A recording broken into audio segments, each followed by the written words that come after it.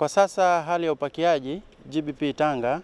imeshuka sana tofauti na ukilinganisha mwanzo. Uh, mwanzo tulikuwa tunapakia gari mia mbili uh,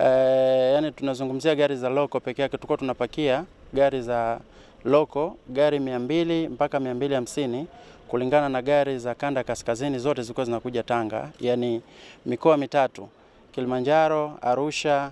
na Manyara pamoja na Tanga yenyewe.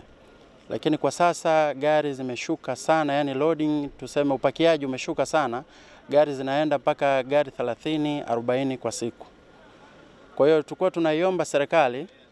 iweze kutusaidia kurudisha ile kanda ya kaskazini, kaskazini na isimamie ipasavyo ili zoezi ili gari zote za kanda kaskazini zije Tanga